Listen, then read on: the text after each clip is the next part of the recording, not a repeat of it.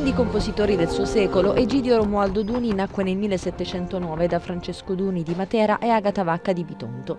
La sua produzione comprende oltre 40 lavori teatrali, ma la sua importanza è indiscutibilmente legata al genere dell'opera comique, cui seppe dare un volto del tutto nuovo. Vi inserì molti caratteri dell'opera buffa napoletana e sottolineò la presenza dell'elemento sentimentale che diventerà il segno distintivo dell'opera comique francese, la cui storia vede in Duni una tappa fondamentale colui che ne diede una nuova forma stilistica. Superò i francesi stessi nel musicare le opere francesi, scrisse Grimm. L'opera di maggior successo è senza dubbio L'Isle Fuchs del 1760. Rappresentata nel suo primo decennio di vita da Vienna a Copenaghen, l'opera è stata ripresa in tempi moderni in una versione in lingua italiana, come sabato e domenica 9 e 10 giugno a Matera nell'ex ospedale di San Rocco, con allievi e docenti del conservatorio un'opera comica in due atti diretta da Nanni Coppola, eseguita dall'orchestra sinfonica diretta da Deborah Tataranni, con canto e dialoghi come nella migliore tradizione. L'opera è ambientata in una clinica diretta da un giovane medico assistito da un'infermiera. È il suo primo giorno di lavoro ed è ossessionato da alcuni pazzi che reclamano la libertà. Nella migliore tradizione dell'opera comique, questo genere operistico che andava in voga nel Settecento in Francia, quest'opera di Duni, L'isola dei pazzi, eh, ha parti cantate ma ha parti recitate secche, cioè senza accompagnamento di pianoforte. Quindi credo che la scommessa eh, bella per la nostra classe di allievi cantanti sia proprio questa, cioè misurarsi non solamente con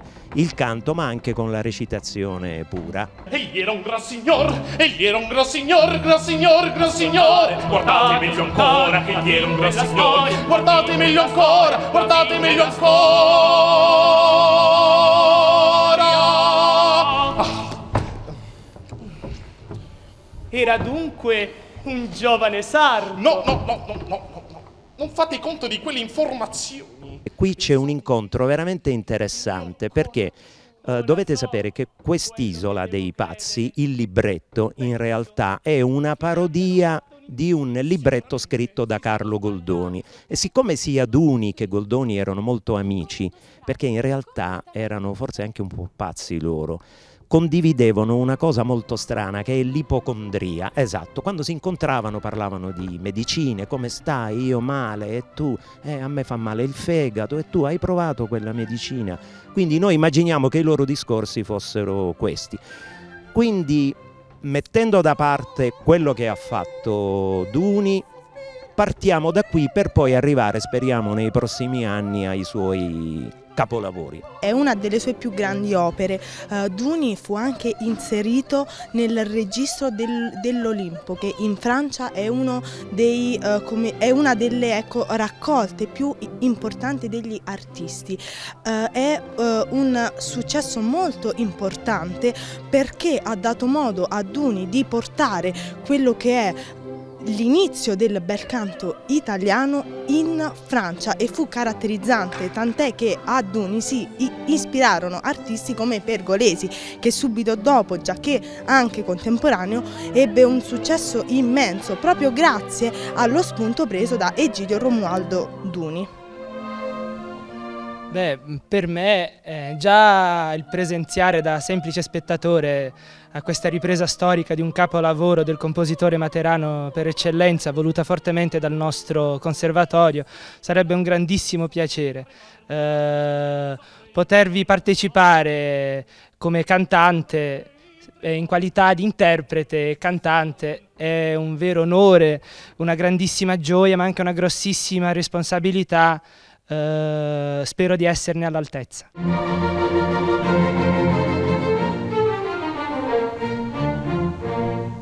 Nel mio cor il pudor lotta in me, ma vince amor, ma vince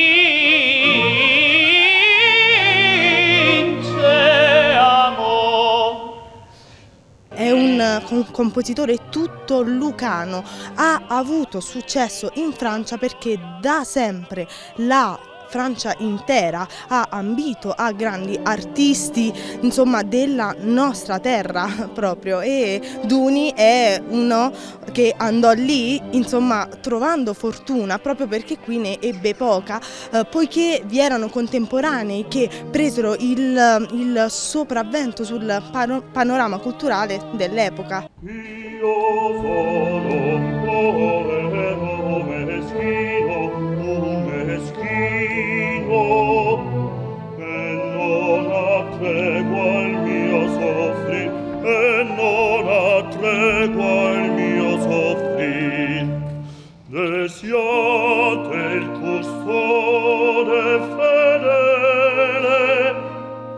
morale della favola in sé, che potrebbe sembrare scontata, ma in verità eh, ci fa vedere che molte volte le pazzie peggiori, quelle de della violenza, dell'odio, eh, le sbandieriamo molto volentieri, invece ci vergogniamo a volte dell'amore, dei sentimenti.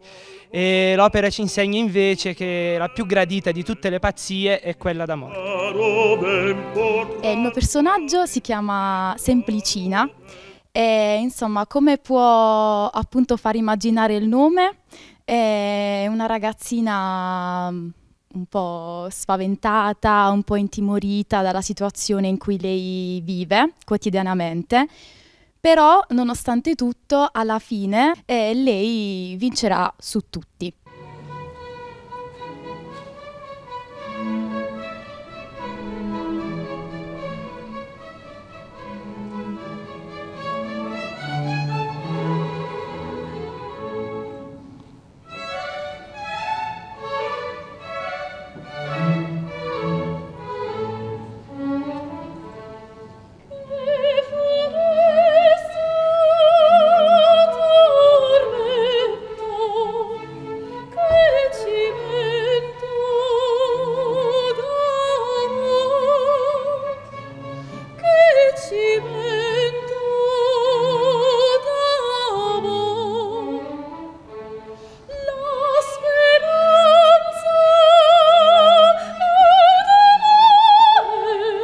Mio personaggio innanzitutto è solamente eh, recitativo, quindi per me che sono un cantautore è una sfida, è stata una sfida in più ed è, è stato molto impegnativo, ma soprattutto mi ha dato molto, quindi ne sono molto contento e credo che quest'opera possa dare molto alla città, a parte per un avvicinamento stretto alla cultura operistica dato che siamo mh, mm, capitale europea della cultura, è una cosa giusta. E poi soprattutto la riscoperta di questo grande compositore che è stato famoso ed ha avuto un grande successo all'estero, quindi è giusto che gli rendiamo onore e appunto gloria. Con gli occhi bendati dal vento, voi sembrate il Dio di città.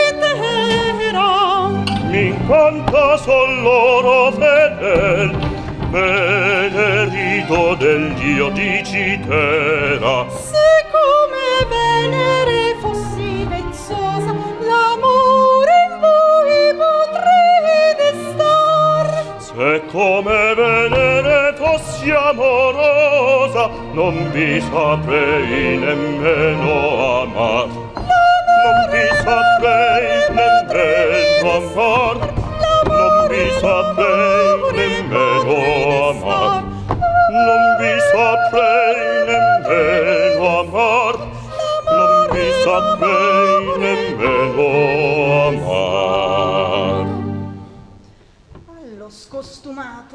Che dite? È che avete avuto una buona idea Avanti, cercate Perché hai scelto per la tua tesi di laurea Egidio Romaldo Duni? Eh, perché io sono, eh, sono ro- romana, quindi sono adottiva della terra lucana e credo che invece proprio in quanto io sono stata accolta qui mh, devo eh, valorizzare anch'io tutto ciò che è proprio di questa terra, musica compresa, anche perché ha molto da offrire, non, non- non solo in quanto cibo, persone, ma soprattutto come cultura, sassi, compositori, artisti. Ecco perché ho cercato di dare ne- nel mio piccolo un contributo per questa terra. Per la rappresentazione materana che personaggio interpreti? Io sarò Madama Gloriosa, una pazza che crede che tutti caschino ai suoi piedi. Mi fate troppo onore. Affatto, è una giustizia che vi rendo. So che volete sposarvi. Ho pensato a tutte le belle donne del- che ci sono sull'isola Per capire quale sarebbe logico Che vi avesse affascinato Ma non ne ho trovata che una Degna di voi. Io La vostra è una proposta deliziosa, ma Ma? Ma? non la posso accettare. Perché? Perché? Amica mia, non vi siete accorta che il dottor Fanfollino è innamorato di me? Come può mai accorgersi di voi? Non le date retta, signore È una pazza che crede che tutti caschino ai suoi piedi Ma tutto questo non mi stupisce.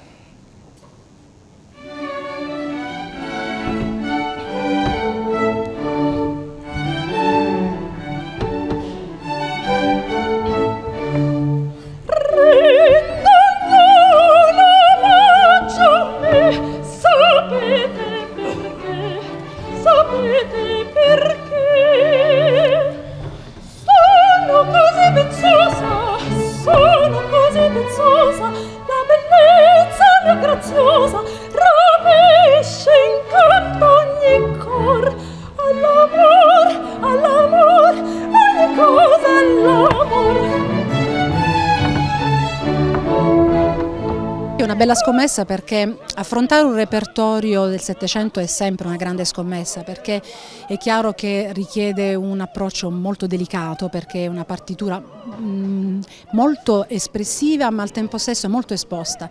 E quindi richiede una- un approccio molto particolare sia da parte dell'orchestra che da parte dei cantanti e dal momento che comunque un- l'orchestra e le voci sono del conservatorio non sempre ovviamente tutte le voci sono ehm, diciamo, nel registro giusto per affrontare questo repertorio, quindi per i cantanti è stata una grande sfida dover adattare la- le proprie qualità vocali a questo tipo di repertorio. E per l'orchestra anche non essendo Duni comunque un autore che si affronta così diciamo normalmente anche per un direttore orchestra non è in repertorio e quindi affrontare questo autore per me è stata una scoperta devo dire la verità perché non lo conoscevo così bene e quindi ho scoperto tante sfaccettature che veramente molto interessanti.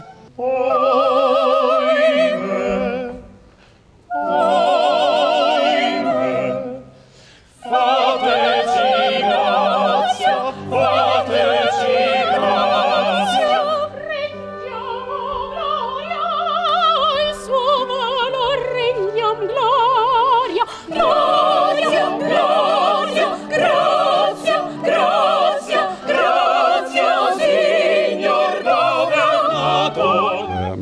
cosa bellissima di queste due esecuzioni il, il progetto e l'insieme di questi allievi del conservatorio che per la prima volta hanno affrontato un'opera eh, davanti a un pubblico. E la peculiarità dell'opera comique è quella di non solo cantare ma anche recitare, quindi hanno fatto dei corsi di recitazione e il successo è stato eccezionale. Sta dormendo. Se la svegliassi, fuggirebbe di nuovo. Música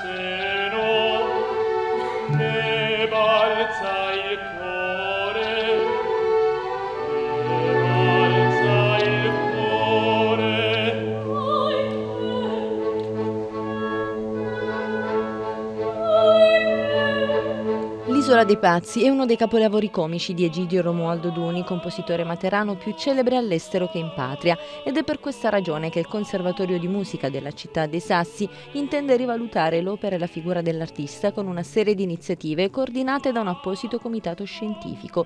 Era doveroso da parte del Conservatorio organizzare un progetto articolato su Duni. Ci sono state tante iniziative negli anni scorsi, ma a macchia di leopardo, ma mai uno che cominciasse ora in un paio d'anni eh, recuperava tutte le opere di Duni e noi nel progetto è prevista la digitalizzazione delle sue opere, sono previsti dei corsi di formazione per la musica strumentale barocca per gli allievi per arrivare nel 2019 all'esecuzione delle opere di Duni in forma filologica.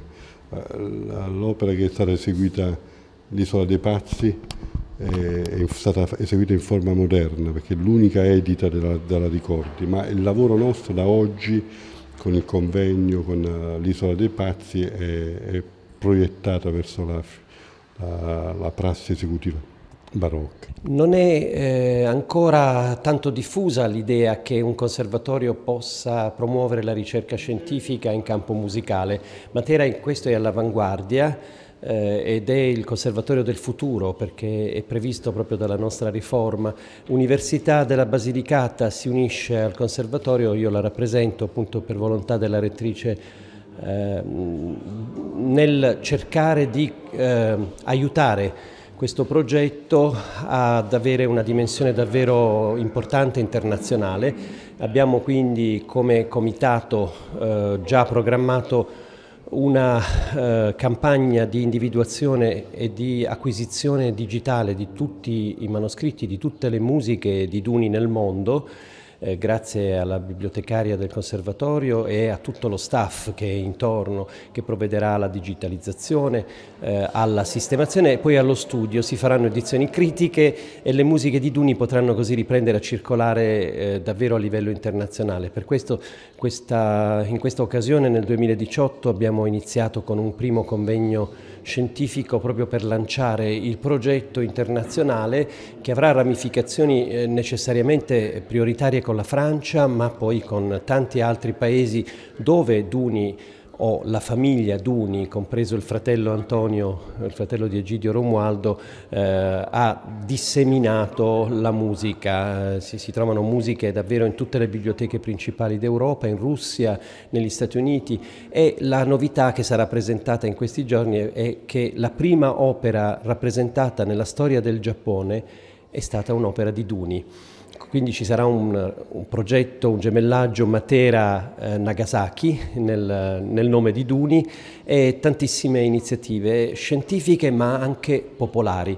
Quindi si dovrà avere il meglio della ricerca per poter diffondere il nome di Duni a tutte eh, le persone, partendo da Matera, tutte le persone che amano la bella musica eventi e manifestazioni che prevedono tra l'altro anche la digitalizzazione dell'archivio Duni, un patrimonio culturale di grande valore che è stato nel tempo disperso e frammentato. È un progetto ambizioso ma anche necessario. Eh, oggi avere gli archivi digitalizzati significa più che conservare i materiali, Chiaro che il digitale non è in realtà un supporto per la conservazione, ma è un supporto per la condivisione.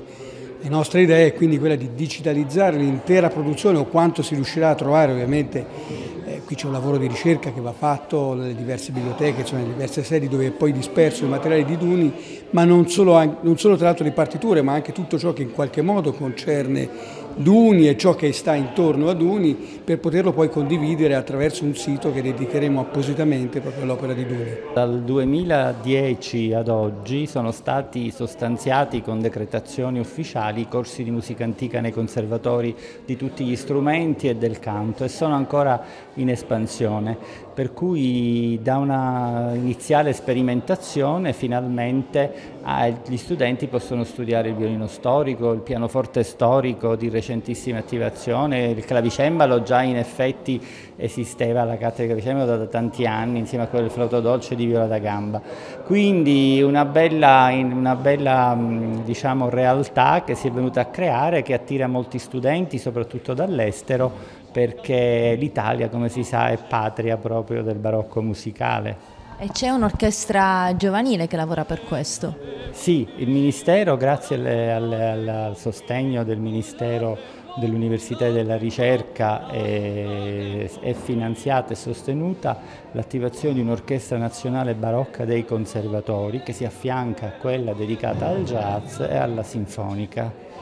Lei è stato uh, direttore del Conservatorio di Palermo, capitale italiana della cultura 2018. Siamo nella capitale europea della cultura 2019 che tanto ha fatto per raggiungere questa importante nomina, invece a Palermo che ruolo ha avuto il Conservatorio? No, a Palermo il conservatorio ha avuto un ruolo primario, tra l'altro ricordo che anche Palermo era candidata, però a un certo punto io amo molto Matera, quindi va bene per Matera.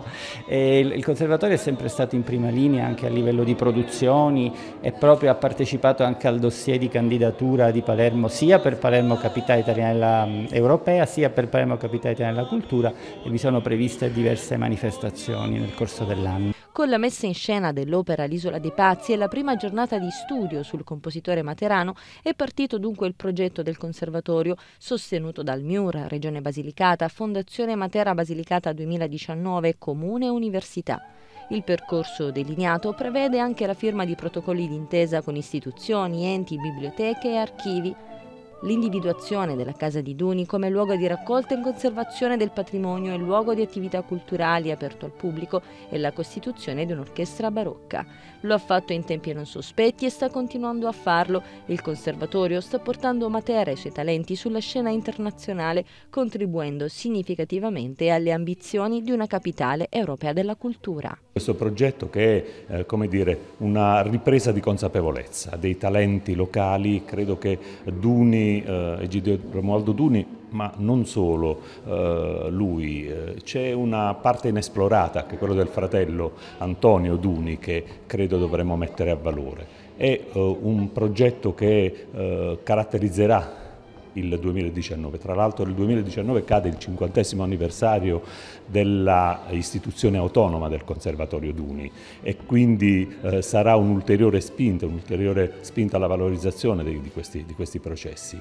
Eh, abbiamo in animo di eh, dislocare alcuni, eh, alcuni eh, corsi eh, preaccademico anche nell'area del Metapontino perché io credo e sono convinto e eh, c'è la disponibilità di tutta la struttura del conservatorio che io approfitto per ringraziare a partire dal, dal maestro Pizziello, dal direttore, a tutto il corpo docente, il personale amministrativo perché io credo che un'istituzione culturale come il conservatorio abbia la necessità di aprirsi al territorio e quel territorio in particolare della, del Metapontino, della fascia ionica elettronica ha la necessità di eh, recuperare quel rapporto di filiera con la musica che è eh, come dire, armonia. Quindi eh, l'armonia deve portare eh, un valore aggiunto sul territorio e eh, eh, recuperare quello che è uno degli scopi della musica, che è la coesione sociale. La coesione sociale in questo momento significa aprire l'istituzione culturale al territorio e unificare questo territorio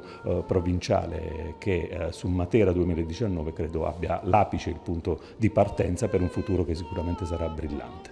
E quella di amor, di amor, di amor, sì, è quella di amor, sì, è quella di amor.